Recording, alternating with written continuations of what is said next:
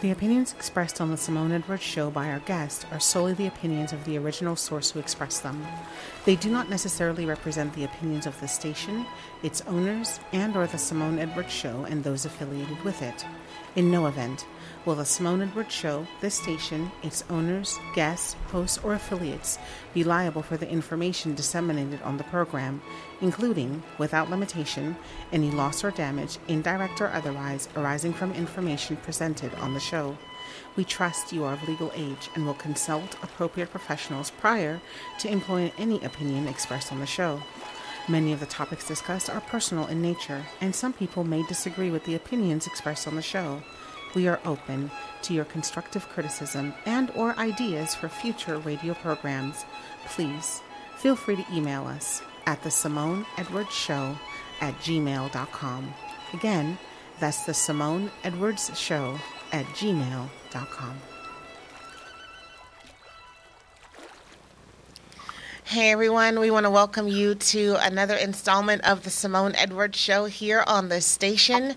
Um, we are doing something a little bit different today, and as a result, we have experienced some technical difficulties, but God is good, and we are on the station. Um, we are on Facebook Live as well as um, the KTAV station, so that's www.ktav.tv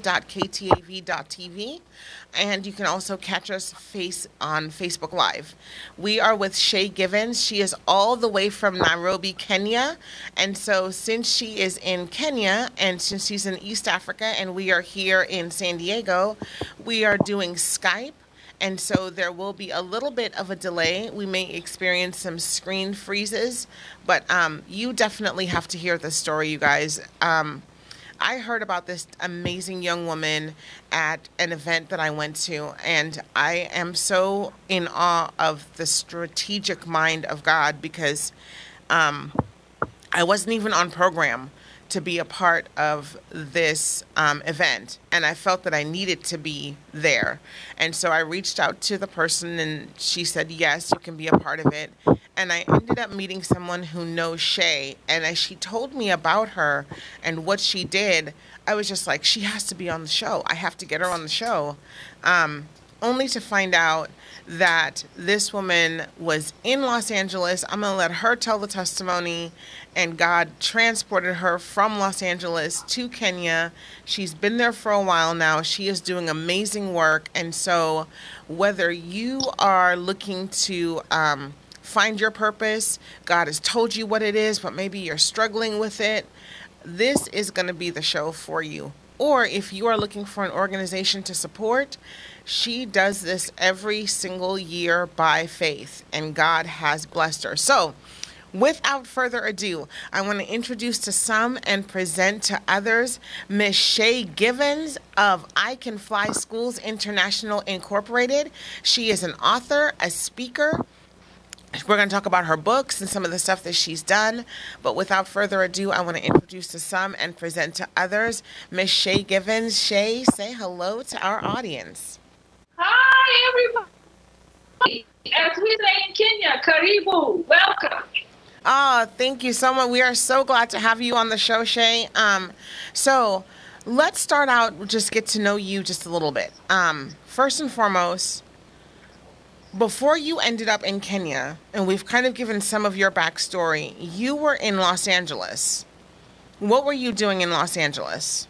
Yes, I was born and raised in LA um, in the Crenshaw district of Los Angeles, California. At Crenshaw, Inglewood.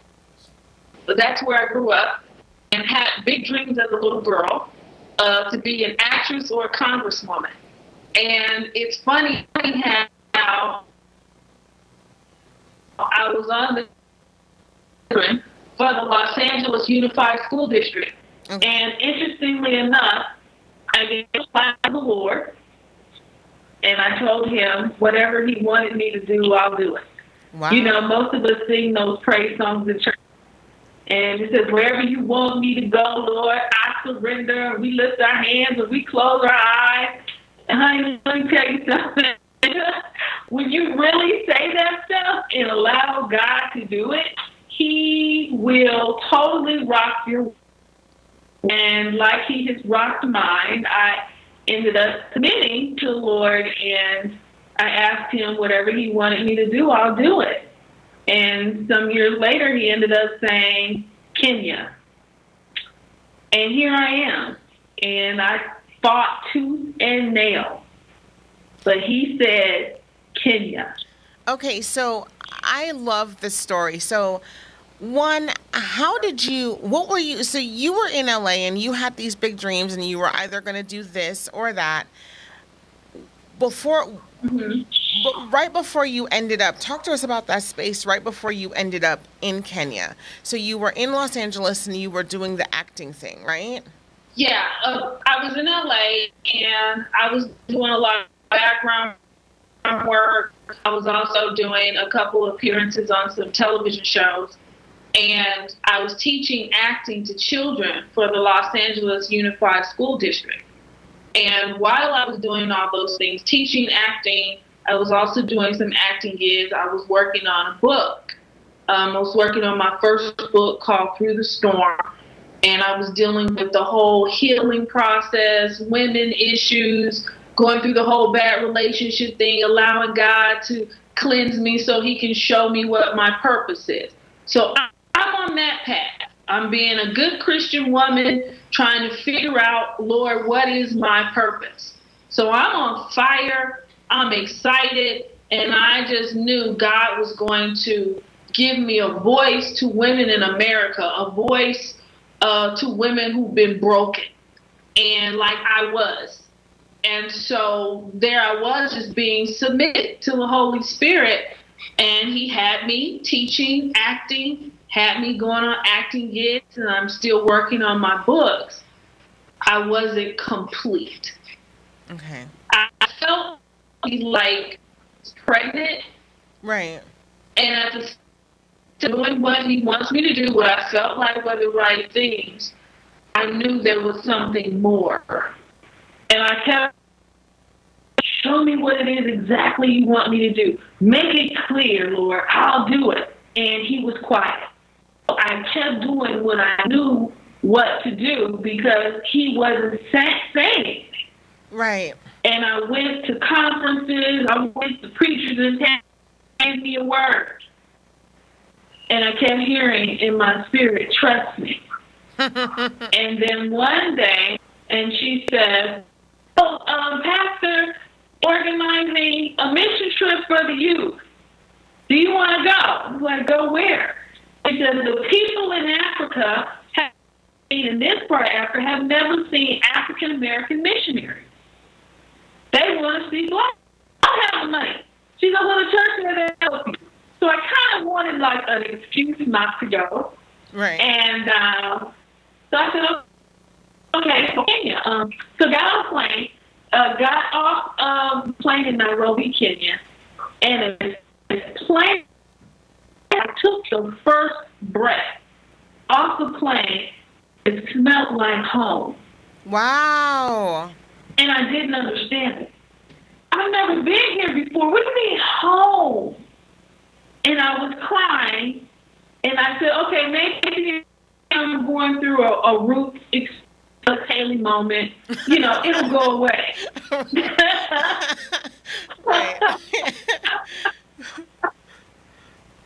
it didn't go away, you know, somewhat. Oh, eventually it will, you know, because, you know, like, you know, we, we, we will go to Africa and come back and do the LA, you know. Right.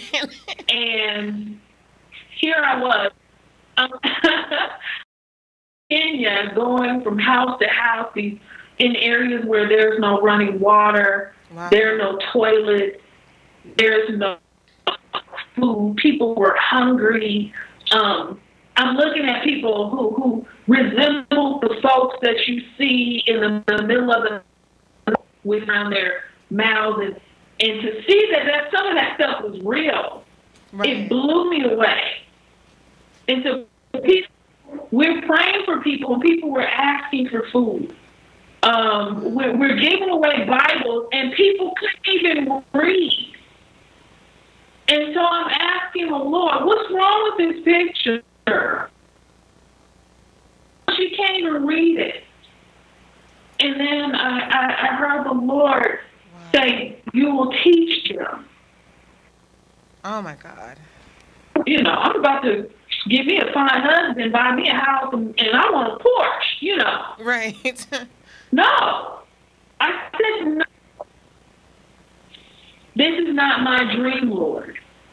This is not my plan. So you've chosen the wrong person, or the devil is trying to play games with me right now. Right. So I started rebuking demons. And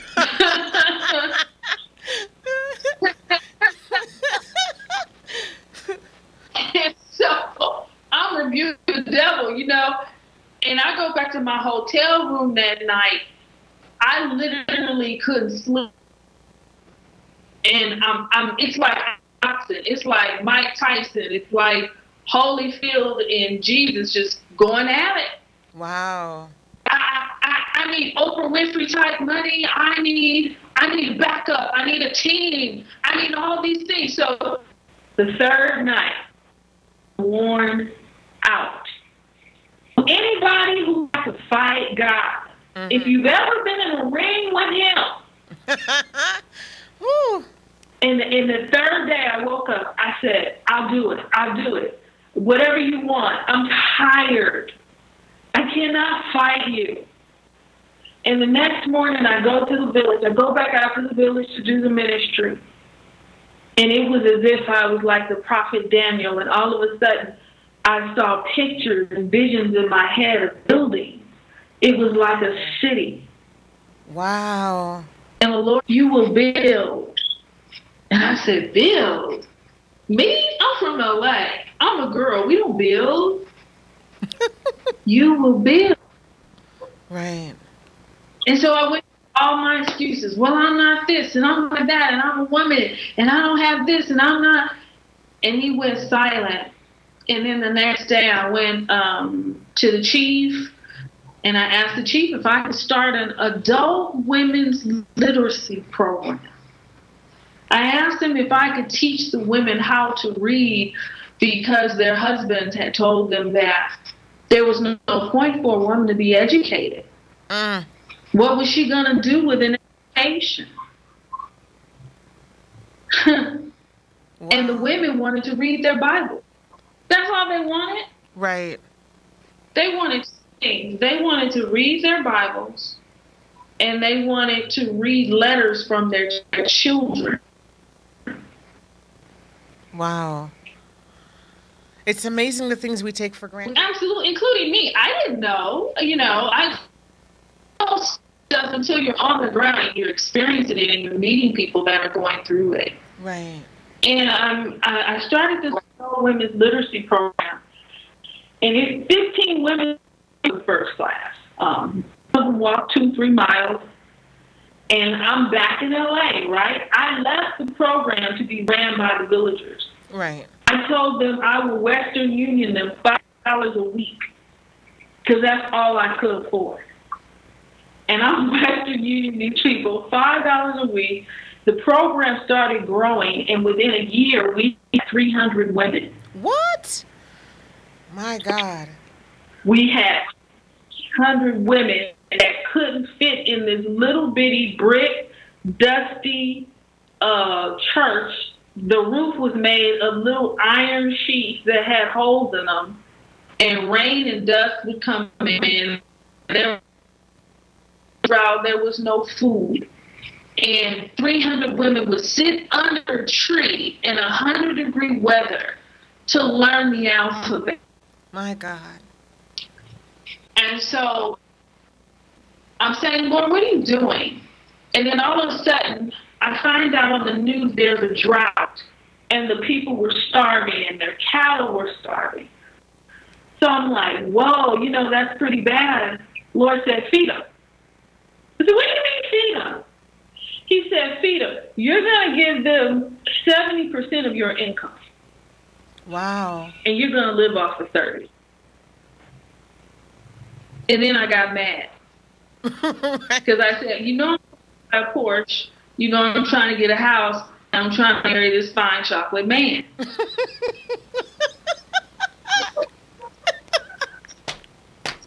he said, so 30, 70%, and you live off of 30.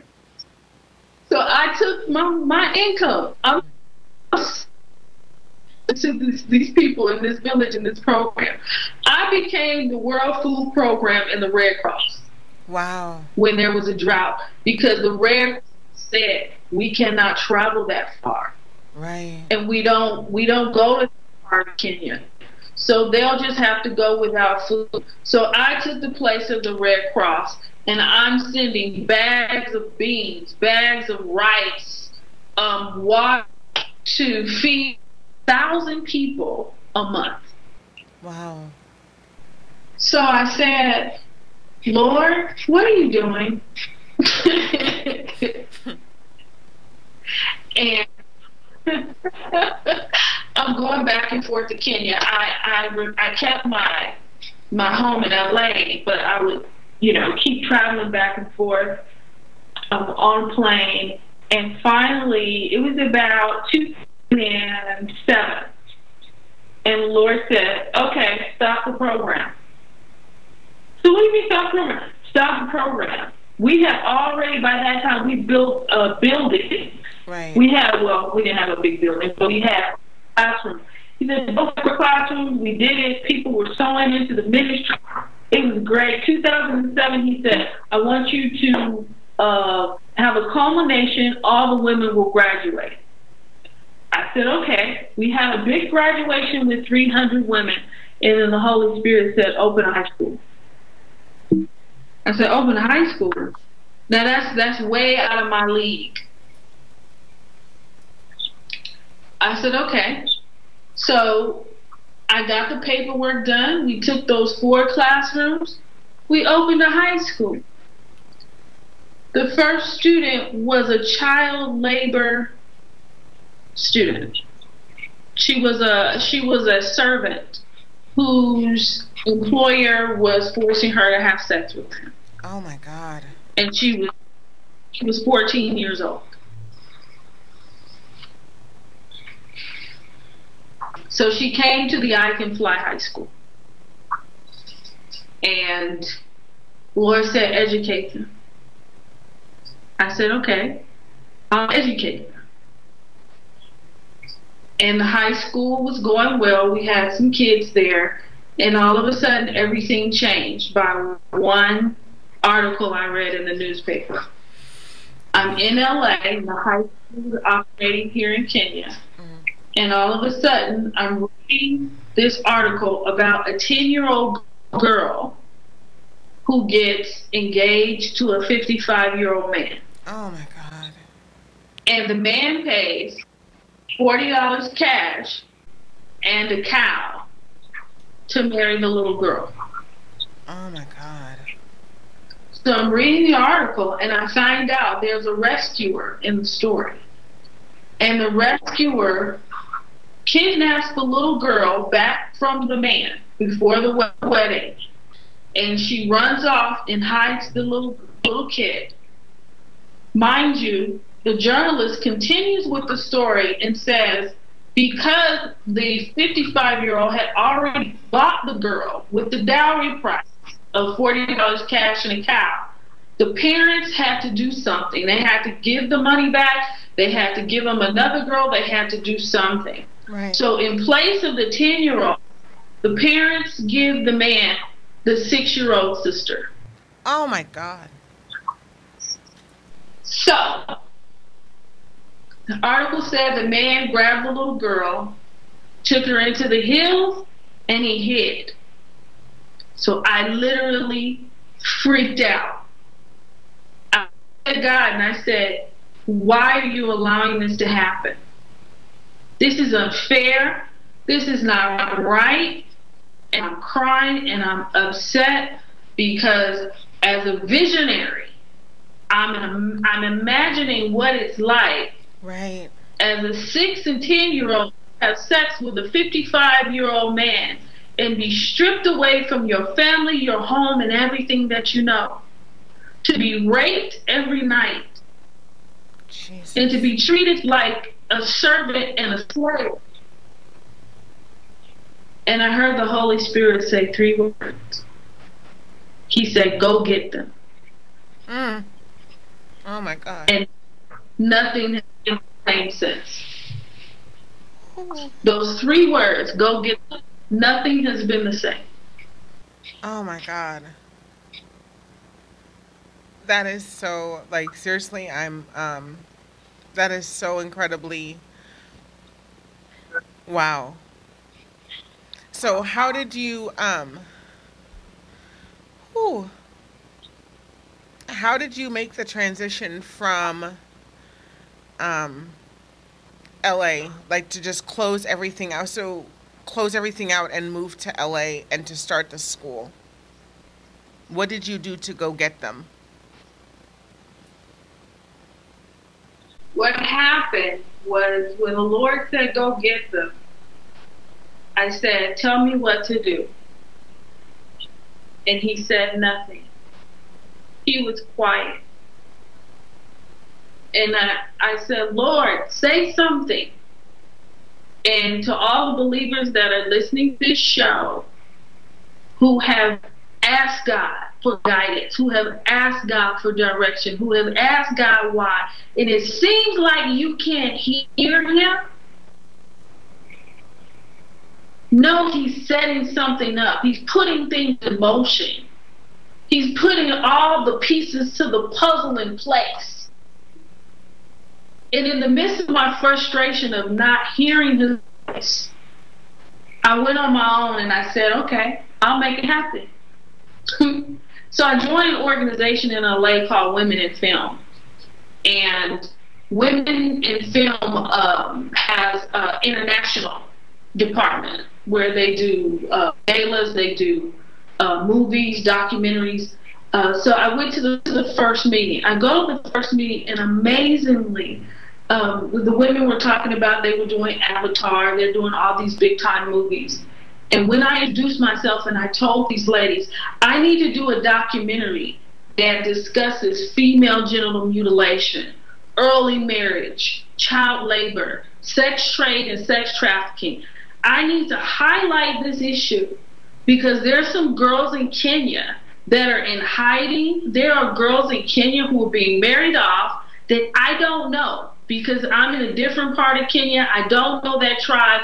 I need help getting the information out there so these little girls can find me.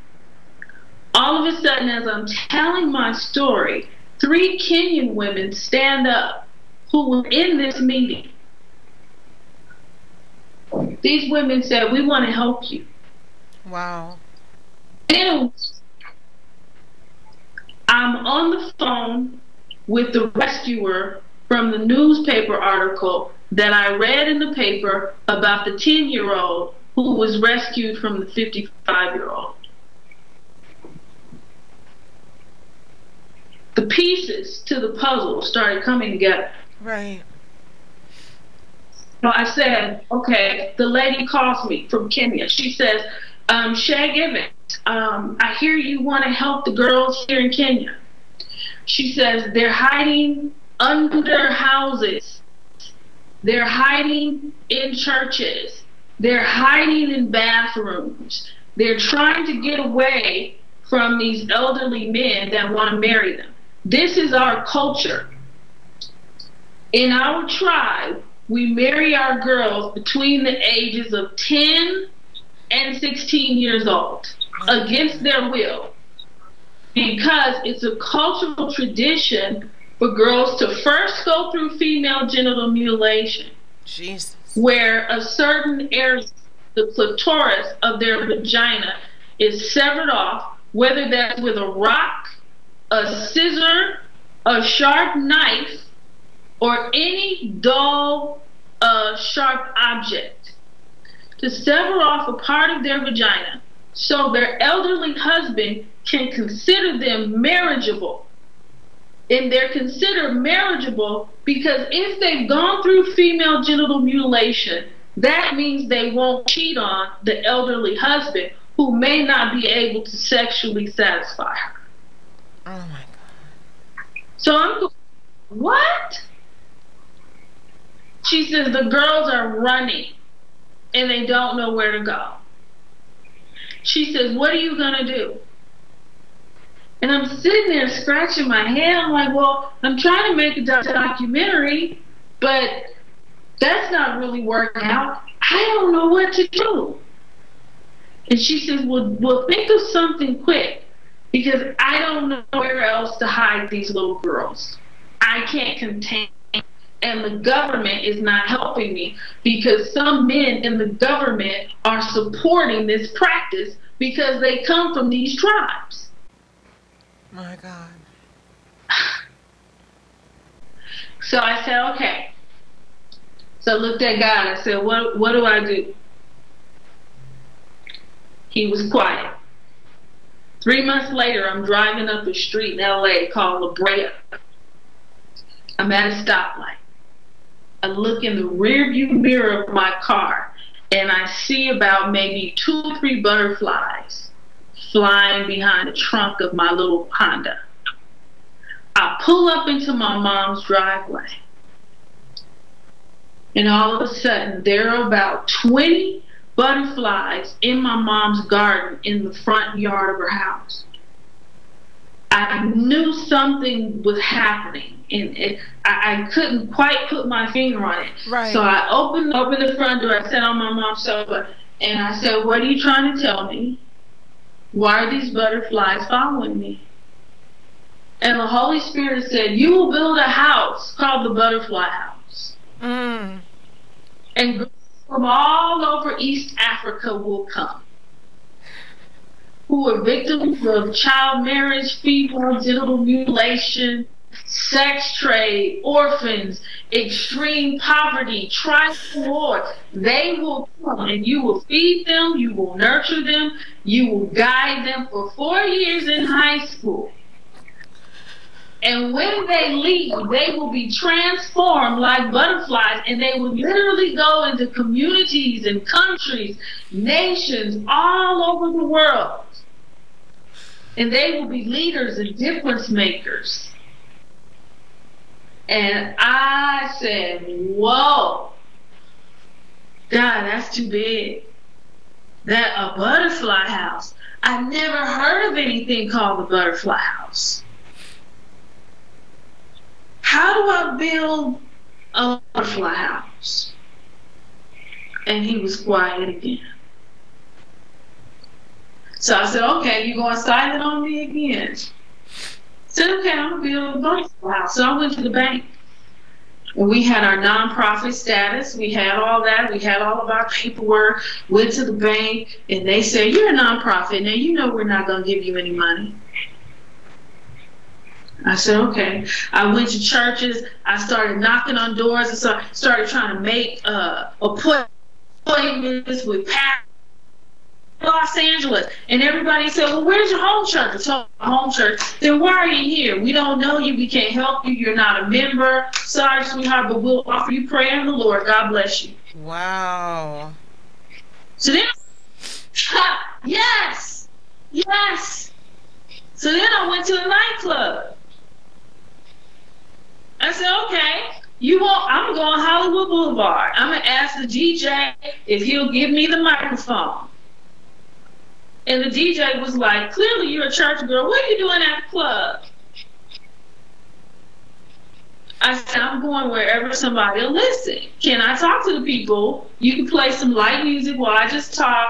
I'm trying to raise money. I need to build this house called the Butterfly House. So people were asking me for business plans. People were asking me how much money had I raised so far. I hadn't raised a dime because no one understood what I was doing because I didn't understand it. I heard Butterfly House, so I'm just trying to raise money for it. So one day my mentor calls. Her name is Reverend B.J. Jenkins. My mentor calls, baby, the Lord told you to build a butterfly house then you need to get back to Kenya and do it. And I said, how do I do it when I don't have any money? I don't have an architect. I don't have, well, how do I do it? She said, go and wait. She said, see, you try, your problem is you're trying to figure everything out. Let the Lord give you one step at a time. She said, I'm going to give you $500. You get to Kenya, and you let the Lord speak. So I said, fine, I'll obey. I took her $500 check, cashed it, went back to Kenya. I started drawing the design of the butterfly house myself because there was no architect. I took that $500 and I paid two little old men um, who were uh, past construction workers to help me dig the foundation. They said you only have money for about 30 bricks and maybe 20 bags of sand at best. And I said, well, let's get whatever we can with this money. So we started digging the foundation based off of my architectural design. It looked like a third grader drew it. The villagers were passing by yelling, what is, what is Shá doing now? What has she got up her sleeve? And I'm saying, I'm building the butterfly house. And everybody's laughing. I get a call from the rescuer who rescued the 10 year old from the newspaper article that I read. She says, I heard you here in Kenya. I said, Yes, in Kenya. She said, Shá, I need you to charter a plane and come to the desert. She says, But be careful, you're an American. Don't let anybody know you're an American because it's not it's not safe in this region because of Al Shabaab and Al Qaeda type terrorist groups. So I looked at God and I said, Why should I go if there's a risk? He gave me a risk. So I went to this uh, this area where we're in the desert and there are lions and elephants and things, and I, I meet a man and he says, I'm taking you to an orphanage. I said, okay, sir. I said, am I safe? He said, you're safe. Just let me do all the talking. So he takes me to this orphanage in the middle of the desert. I meet the rescuer from the newspaper article. And she says, are you ready for this surprise? And I said, what is it? She said, these two little girls come walking out. And it was the 10 year old from the article that was then 13, three years later. And the six year old was finally rescued, who was then nine years old. They came walking out and they put their arms around my waist. And I began to cry. And I looked at them and I said, I'm so happy to see you. I'm so happy we found you. And I said, What do you want? Can I pay for your college education? Can I buy you a house? Can I give you a scholarship? Can I get you some toys? Or and they said, The only thing we want you to do is tell our story. And I said, That's it? They said, Just tell our story. And these two other little girls came walking behind them. They were from Sudan. They had been recently mutilated, so they were walking real stiff. They were about 10 and 12, real thin. And I have all the pictures. I think I sent you those pictures. And I looked at them and I said, just tell your story. That's all you want. And I said, okay. I said, whoever will open a door I can get a microphone in whatever country between Asia, Russia, Japan, Korea, and the United States. I would tell these stories. And we took pictures, we played hopscotch, we played jump rope, and I rushed back the next day to get um, get back on the plane and get to the I Can Fly High School. And I got back to the school and I called those old men and I called some women and I said, I'll give you a dollar. I'll give you 50 cents. But I need you guys to help me put as many of these bricks in the ground as we can. Till I gotta finish this butterfly house. And I started snapping I started snapping pictures of the sand and the cement and and and, and I said, I'm gonna use what I have. I'm gonna use the pictures of the girls, I'm gonna use the pictures of the old men digging the foundation and I'm gonna go back to the United States and I'm gonna knock on every door again and tell them, I need you guys to help me build a butterfly house. So I got back to the States, showed people those pictures, and they started responding. People were writing checks. People could believe we found the girl from the article. It was amazing. And I felt like, you know, God was, was answered for change. I wasn't just out there by myself. And so the construction was going up. I was seeing the roof put on. I was seeing them lay the foundation of the house. It was absolutely beautiful. Finally, the rescuers, about six months later, and the rescuer's calling me, and she's saying, Shá, um, there's ceremonies that are being scheduled. Female genital mutilation ceremonies. And I said, What's a female genital mutilation ceremony? She says, This is what happens. When the girls graduate from the eighth grade, free education is from first grade to eighth grade. After they graduate from the eighth grade, the parent feels pressure to marry the girl off because they don't want to feed her anymore. She can't go to school because they can't afford it. And they need the money. So it's better to sell her off while she's 12, 13. And then they can be done with the girl. And then the other family can benefit from having one less mouth to feed and having received a cow and cash. She says the girls know what's about to happen in the village mutilation ceremony is about to happen, they all know they're getting ready to be married off. So they're running away. And they don't know where to go. And my phones are ringing. She says, when is the house going to be ready? And I'm like, um, uh, February, February, February, the house will be ready. It's December, it's Christmas time. She said, okay, that's two months. I don't know how I'm going to make it, but I'll do my best. So she's in Kenya, grabbing the girls left and right. I'm in the United States, raising funds, speaking to people about the atrocities these girls are going through. The house is going up because people are giving. It's Christmas time. Right after Christmas, people stop giving. The house is not finished. So I look at God. I said, What are you doing? What are you doing? he's quiet. I already promised these people in February the house will be the house is going to be ready. I ended up scheduling myself to get back to Kenya in the middle of January so I could finish the house. House stopped. The old men left. The young men left. There was no more cement, no more bricks. The house finished. So I got angry with God. And I felt like he abandoned me.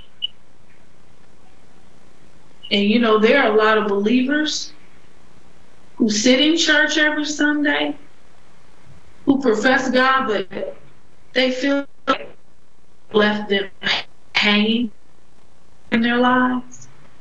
Like he hasn't been fair because something happened. And that's what I felt like. Like he brought me so far and then he just stopped. And so finally, after me being angry and went through like a, a light depression, my girlfriend calls me. She says, I need you to minister. I need your voice on a voice recording to talk about faith because we're going to do something on, on, on third Sunday with you, with a voiceover of you talking about faith. And I told her I couldn't do it because I'm not a hypocrite. I'm not going to stand in front of the people of God and talk about something that I'm not feeling. Right. So she begged me, and I, I said, okay, fine. I'm just going to read the book of Hebrews, chapter 11, verse number in character. So I opened my Bible to, to Hebrews chapter 11, verse number 1, sitting in the in my mother's house. And where it says, Now faith is the substance of things hoped for, the evidence of things not seen. And you read further, it talks about by faith Moses became the deliverer of the Israelites. By faith Abraham became the father of many nations.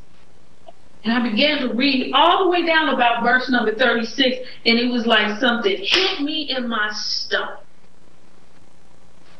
And I started repenting. Said, Lord, I'm so sorry.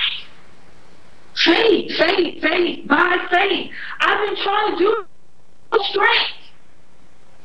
I've been out here up and down in LA, Sacramento, San Francisco, San Diego, trying to make it happen on my own. And it's not about me, but it's you that's going to do this by faith. And within moments, it was very clear. It's always been his project. Right. So I called my partners. And called my prayer partners, I said, I need everybody to pray for the next week that God is going to move on behalf of these girls, on behalf of the butterfly house. By faith, he's going to do it. Just like by faith, by faith. What you mean by faith? I said, quit asking questions. Just say by faith. Pray is the end of every prayer by faith. Just do it. Just do it. So everybody said, okay.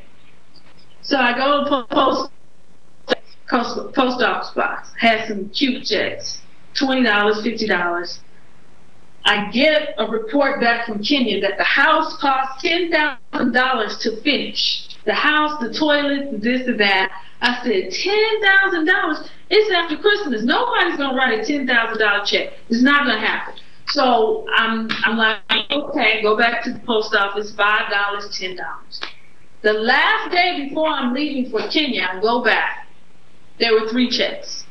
There was $200 and then, then I think there was like a $50 check.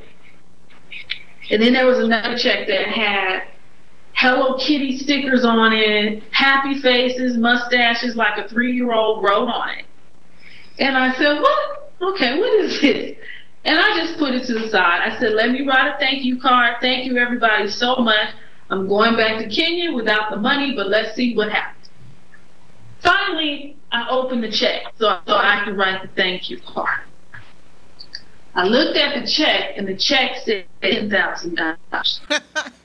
Woo! There was a note attached to the check. So I opened the note and I read it. Because I who is this person that writes the 10,000 Hello Kitty stickers on it? And it said, Dear Miss Givens, I'm writing you this check and giving you this money on behalf of my daughter who was killed by a drunk driver on October the 31st, 2011. She was 12 years old. I believe she would want you to have this money mm. so that other little girls in Kenya may live. Please honor her with this donation so that her life would, would not have been in vain. By the way, my daughter's name was Faith. Oh my God. So I said, okay, I am not crazy. I have not lost my mind. And I do hear from God. And so I packed my bags, grabbed all my things, I said goodbye to my parents. I said goodbye to the thought of buying a Porsche, a big house in Hollywood Hills, and the six foot chocolate man I thought I was going to marry. and I I moved to Kenya, and within weeks, with spit, mud, dust, water, and cement, we finished the butterfly house.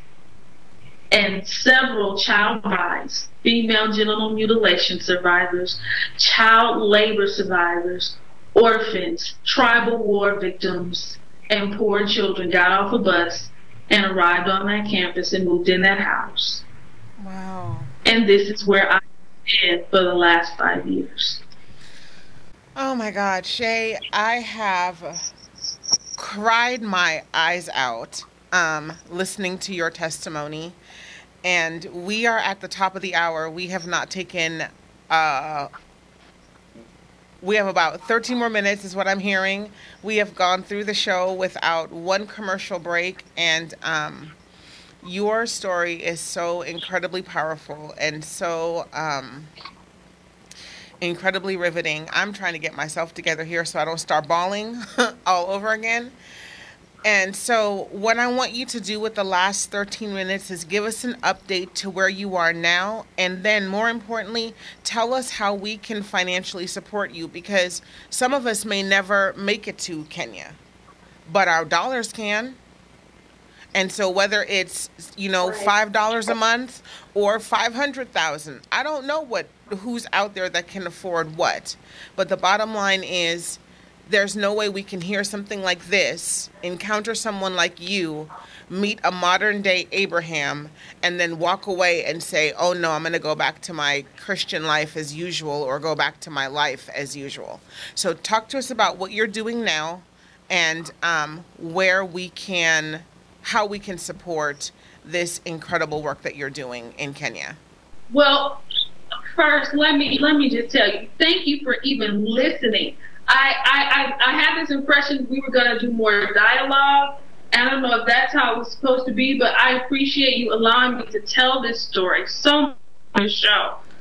Absolutely. Um, I, you know, it's funny because before each show we pray and we ask the Lord, God, let your will be done, guide the words that are coming out of our mouth. And as you told your story, there I there were no questions coming to mind. There was nothing happening, and so I just let you talk because that was what the Lord wanted. And girl, I'm so glad I did because I'm telling you, we were all we're between me and my TD, we're here crying and wiping away tears and sniffling because you this testimony, this account is so incredibly powerful that you needed that space to tell the story. So um uh, yeah, this is a partnership is forming between this show and um, you and I Can Fly, and we're just to let God do whatever it is that He's going to do. So, Shá, you have the floor.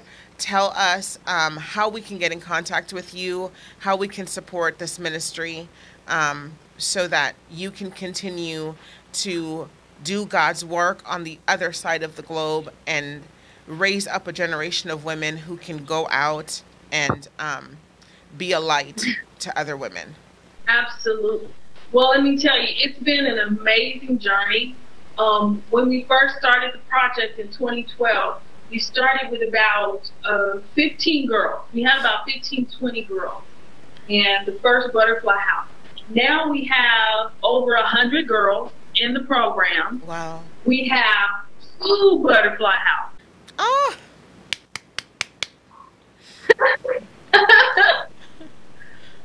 we we ran out of space in 2015, 2016, and so I said, "Hey guys, everybody in the U.S., we need another butterfly house. We got to take more girls." So we have 55 in one room and about 57 girls in another house. About um, we sit on a 2.5 acre of land. We now have three years ago, we got running water and electricity.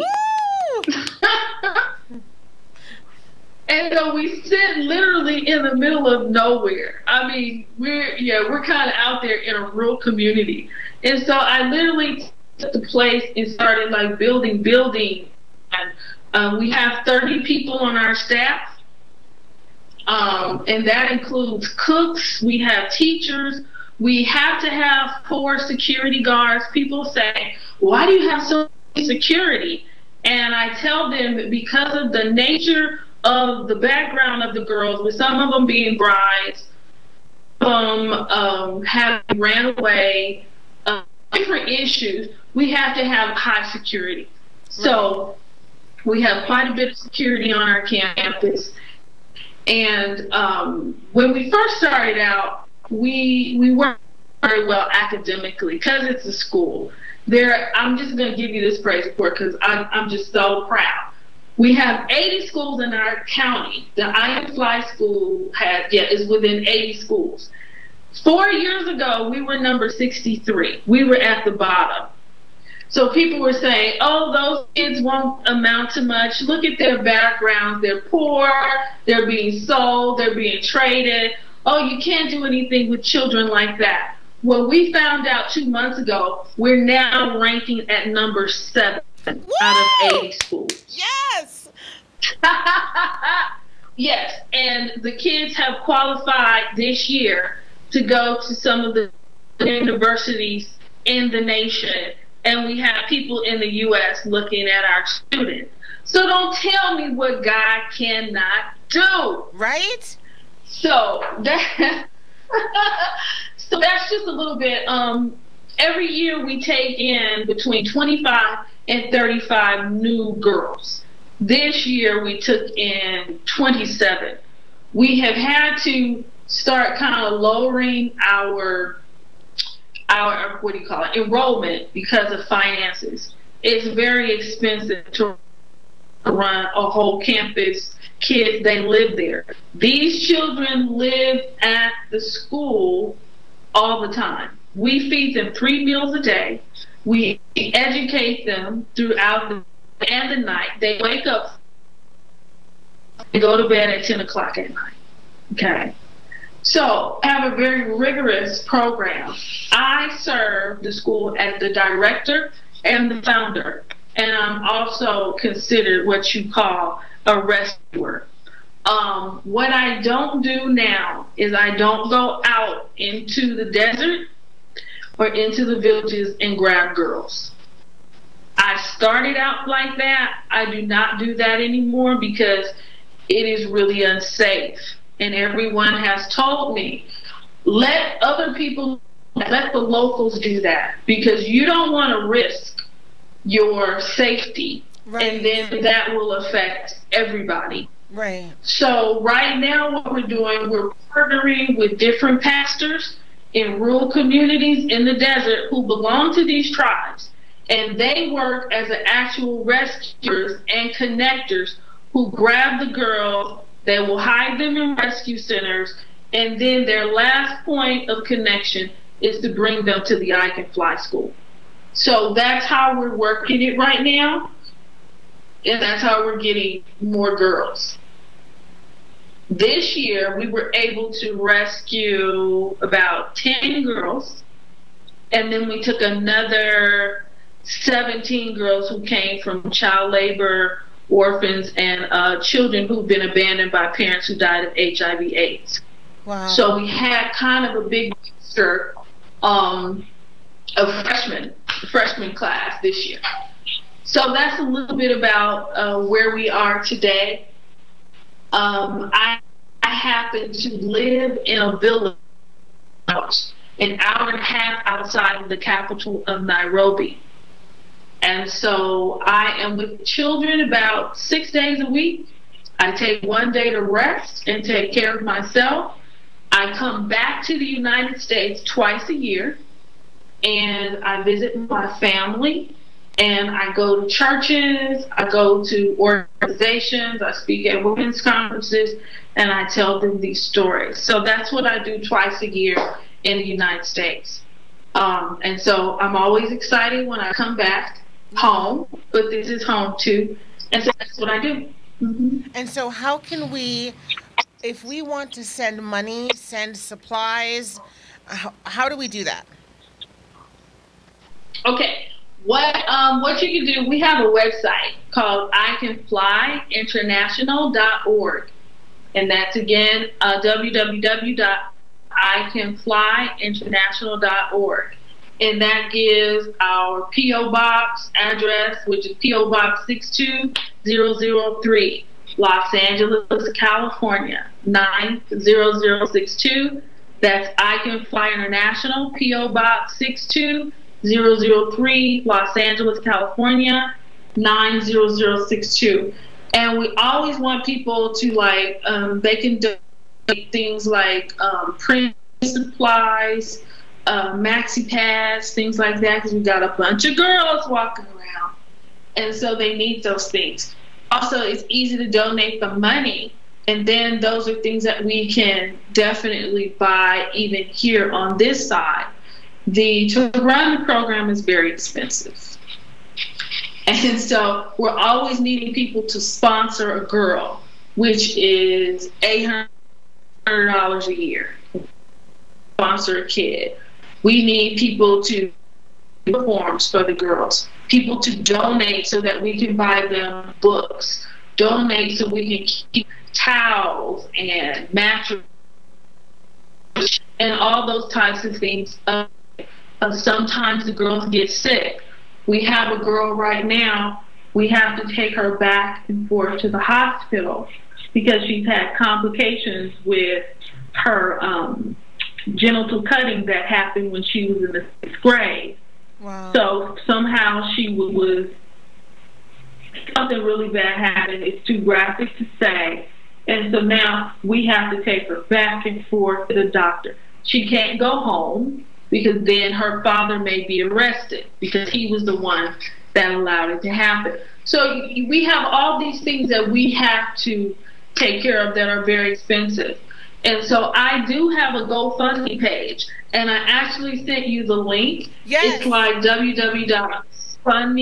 Yeah, we have a GoFundMe page where we're trying to raise twenty thousand dollars, and that twenty thousand dollars will help all the girls stay in school comfortably for the next six months.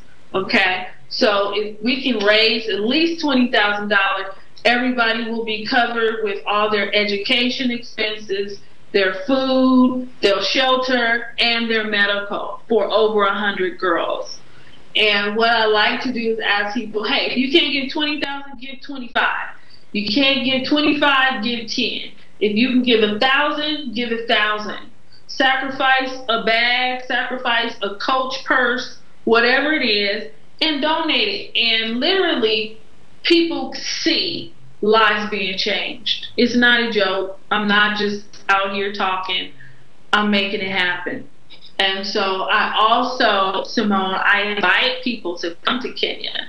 We have about four teams a year that come to the school and visit. And they teach the girls, they do workshops, they teach them self esteem, Bible studies, math, spelling, whatever they want. They get to bond with the girl, and they also get to do Skype visits with some of the butterfly girls. Oh, that is wonderful. That is absolutely wonderful. Um, so I am so glad you have sent us all that information because we are going to do our best on this end to get the word out for you about I Can Fly Schools International.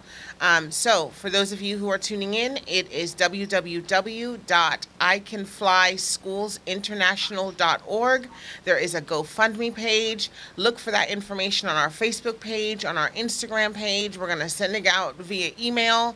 We want to get as much information out as possible about the work that Shá is doing in Nairobi, Kenya. Um, because it is so vitally important. If you have a daughter, um, after hearing this testimony, go home and hug your daughter.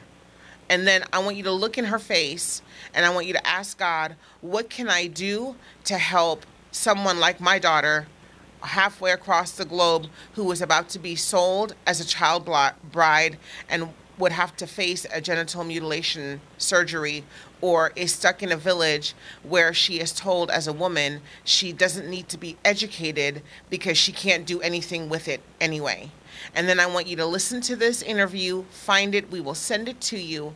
Listen to this interview, listen to this testimony, listen to this act of faith of going halfway across the globe to reach young women to educate them, to to work as a rescuer, to give up her comfortable life. You know, she wanted the house in the Beverly, um, in the Hollywood Hills with a porch and the six foot chocolate man. um, but instead, God gave her um, God gave her a bevy of spiritual daughters. He gave her a bevy a bevy of daughters and he gave her a purpose and she is changing lives for eternity when she leaves this world there will still be her legacy will live on and the work of God will live on through her. So we're asking you to please partner with I Can Fly Schools International.org. Partner with them and the work that they are doing. If you have a daughter, a niece, friend, cousin, whatever. I want you to look at that young woman and know that halfway across the globe, someone is not as privileged as she is right now here in the United States. So thank you so much for tuning in. Um, I am a flood of emotions, a flood of emotions. Thank you for tuning in. Um, Shá, the next time you are in the States, I need you to be here in studio with us. So, um, whatever's going on, we will make the changes as needed, but we need to see your beautiful face in studio with us and um, bring pictures and updates and all that good stuff and we'll see what we can do on our end to help you continue the work that God has given you for all those little butterflies that are in Kenya with you. Thank you so much for tuning in. Thank you, everyone, for taking the time out of your day to listen to the show. Share it, don't just like it, don't just listen to it, share it, get as much support as you possibly can. We'll see you next week on this at the here at the station. Well, I'm sorry, I'm all fluttered, flustered right now, but um, in a good way. We will see you next week here on um, the Simone Edwards Show for another installment, and we'll talk to you soon. Have a great rest of your Saturday. Saturday. Bye bye.